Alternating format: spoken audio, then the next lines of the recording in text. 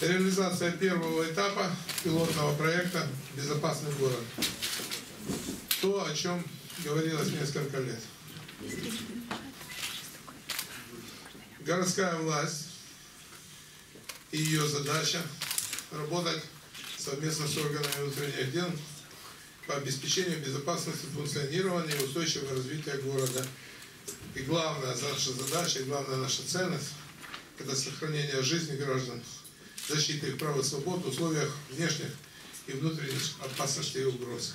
Основные задачи программы «Безопасный город», которые перед нами стояли, это комплексная автоматизация процессов выявления предупреждения и оперативного устранения различных факторов угроз жизненно важным интересам города и его жителей. И вторая – это интеграция действий информационно-управляющих подсистем, то есть дежурных частей, аварийно-диспетчерских служб и так далее.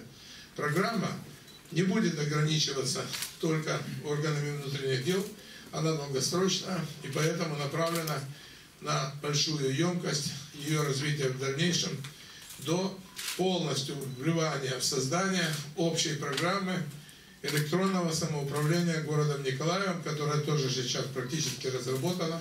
И в нее будет входить не только эта часть программы, но и многое другое. Дежурный, который несет службу по органам внутренних дел, наблюдает за оперативной обстановкой в формате онлайн по видеокамерам. Ну и, соответственно, при получении сигнала о совершении какого-либо правонарушения, либо если он самостоятельно его выявляет во время э, мониторинга видеокамер, соответственно, э, дает ориентировку, э, смотрит наличие э, нарядов близлежащих, которые у нас несут службу по охране общественного порядка в городе Николаеве, ну и ориентирует э, ближайшие наряды для работы по задержанию лица, которое совершило правонарушение. Видеонаблюдение на улицах города значительно повышает в разы процент раскрываемости преступлений по горячим следам и приводит в результате к уменьшению уровня правонарушений. Установленные в Николаеве камеры имеют мощный зум, воспроизводят на мониторы видео с камер в реальном времени и обеспечивают круглосуточную запись, то есть видеорегистрацию. Вот. Все это дает возможность автономная работа. И в случае отсутствия электроэнергии учтены климатические особенности города и всего необходимого. Кроме того, видеокамеры снабжены возможностью панорамной съемки. Имеют угол обзора 180 градусов. Это позволяет уменьшить общее количество необходимых для закупки камер. В целом, первый этап предусматривает установку 48 камер, для чего из бюджета было выделено 1 миллион 61 тысячу гривен.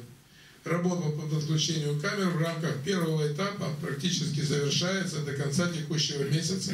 Есть проблемы, связанные с э, техническими условиями облэнерго, где нам необходимо обеспечить и полную сохранность, и безопасность камеры, и устойчивую подачу электроэнергии на очень сложных объектах. Кроме того, к данной системе планируется подключить уже действующие камеры управления внутренних дел, которые ранее были размещены в городе Николаеве. Я помню, что усилиями начальника управления внутренних дел Николаевской области и города было сделано все тогда для видеонаблюдения на блокпостах и на очень сложных точках, также на наших мостах, э, Варваровском, Ингульском и так далее.